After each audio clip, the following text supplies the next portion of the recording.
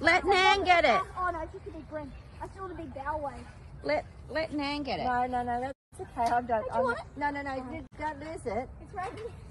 It's a, oh my god, it's a pretty big Is that a bream. big one? Oh my god, hang on, wait. It's actually a really big bream. Hang on, another fi- All right, this is Fysh Lur here. We're Yeah, um, back with another video. Is that, a, is that a keeper? Oh, it's a big keeper, yeah. We've got Okay, a big bream on a clump of herring.